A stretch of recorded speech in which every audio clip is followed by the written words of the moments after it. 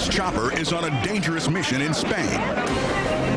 The pilot's battling a brush fire in the nearby mountains.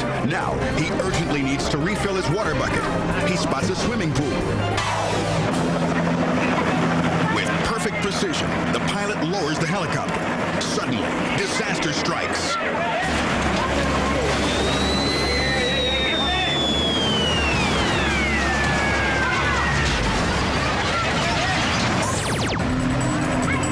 Slow motion, you can see the tail rotor clip the fence, sending the chopper spiraling out of control.